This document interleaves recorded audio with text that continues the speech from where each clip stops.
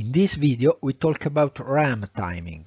Timing is as important as clock in the speed assessment of the RAM, but often this information is neglected in the purchase of a memory bank.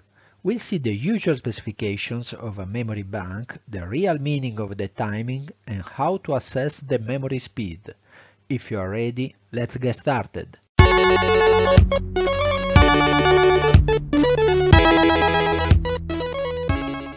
Usually, for a personal computer, you buy a SDRAM DDR4 or now DDR5. The number after DDR4 or now 5 is for the generation. The fifth generation has just came out, but timing and other specs remain. Let's see each item in detail.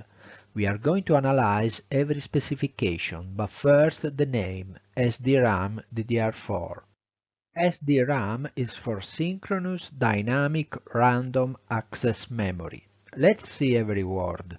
Synchronous because it has to be synchronized with the CPU clock, and this tends to increase the number of instructions that the processor can perform in a given time. Dynamic because it has to be dynamically refreshed. The memory cell is composed by a capacitor and a pass transistor. In the reading operation, the pass transistor is on and the charge flows through it in the bit line, where a sense amplifier reads it. This is a destructive reading because at the end we don't have charge in the capacitor, so we lose the one stored. In addition, the transistor allows the passage of leakage currents, so the charge has to be periodically refreshed. For this reason, this kind of memory is called DRAM or dynamic RAM.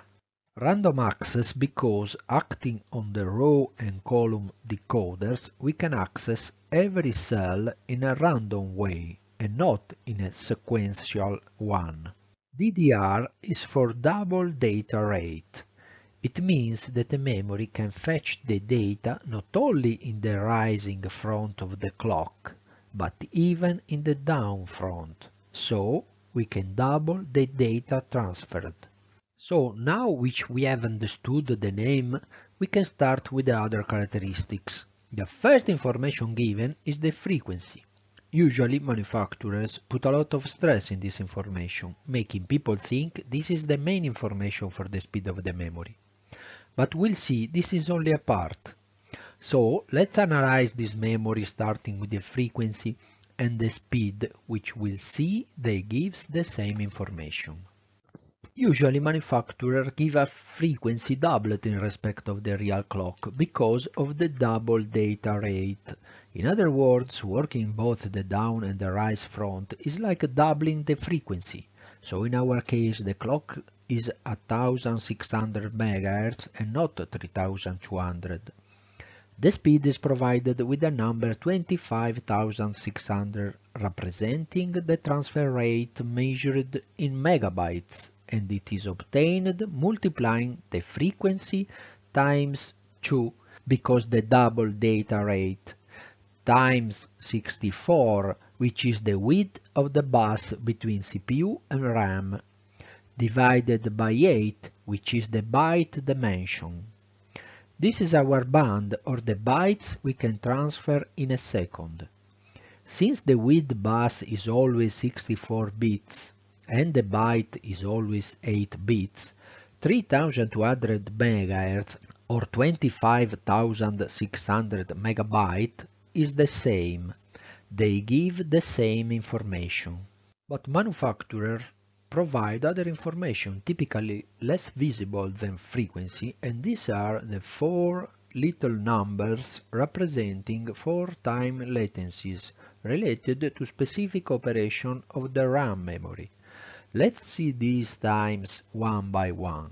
Since memory chips require time to fully execute commands, manufacturers provide these four times latencies, which represent clock units.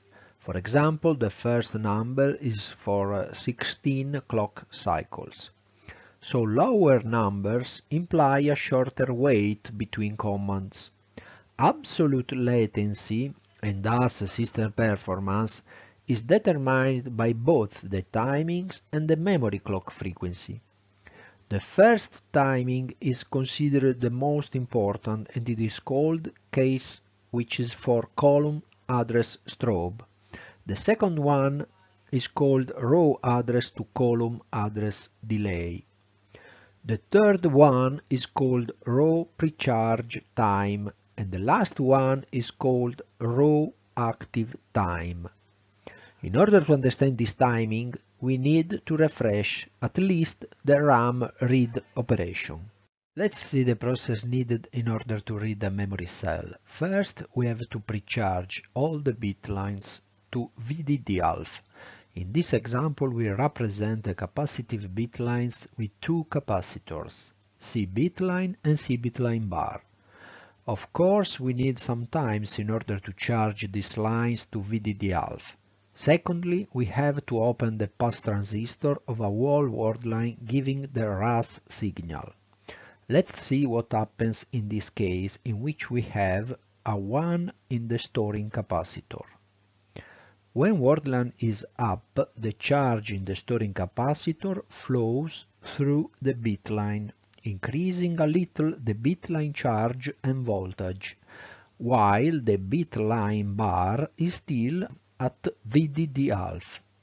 The sense amplifier in the bottom of the line realizes this difference and starts its positive feedback, pulling a 1 in bitline and a 0 in bitline bar, thus recharging even the storing capacitor. You can see this process takes its time. We need a time to pre-charge and a time to unbalance the bitlines and activate the sense amplifier. So here we have some important delays. Here a wider picture of our memory in which you can summarize our timing.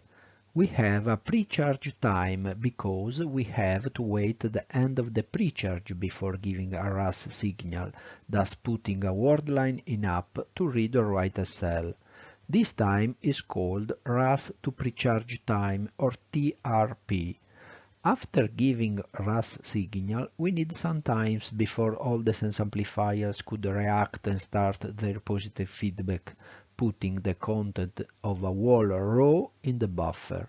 When the bits are in the buffer, we can give the column signal CAS in order to read the byte we are interested in. The time between the RAS and CAS is called RAS to CAS delay or TRCD. When the column or CAS signal arrives, you need some time to have the data on the output ready for the CPU, and this is called the CAS delay. So, if you are in a wrong row and you want to go to read a bit in another row, you need a time which is the sum of TRP, TRCD and TCAS before having the data on the output ready for the CPU. The last time is the row active time and it is the minimum number of clock cycles required between a row active command and issuing the precharge command. This is the time needed to internally refresh the row and overlaps with TRCD. In SDRAM modules, it is more or less equal TRCD plus CAS latency. CAS latency is quite important because you saw we read a whole row, so in the case we need a bit in the same row, we have to wait just CAS delay. For this reason, if you have to choose just one timing, for simplicity reason we use CAS delay. CAS latency is the number of cycles between sending a column address to the memory and the beginning of the data in response. It is often taken as most representative among the different timing. Since you read a whole row at a time, if you have to read several bits on the same row, you have just to wait CAS time for each bit. In this example, it lasts 7 clock cycles. RAS to CAS delay is the minimum number of clock cycles required between opening a row of memory and accessing a column. In this example, it lasts 6 clock cycles. Precharge to RAS delay is the minimum number of clock cycles required between issuing the precharge command and opening the next row. The total time for reading the first bit of a row is the sum of these three time, TRP plus TRCD plus CAS latency. Row active time is the minimum time between the active command for a row and the precharge command needed for the operation in another row. Usually it lasts at least TRCD plus TCAS. If you want to compare two RAM memories, you have to use both the frequency and the timing. The CAS latency is quite representative because it is the time you need to wait to, to have the data ready for the CPU when you have to read on the same row. Instead of a simple clock comparison, it is better to compare the CAS latency. To calculate the CAS latency, you have to consider not the advertised frequency, but the half of it, because this is the real frequency of the RAM.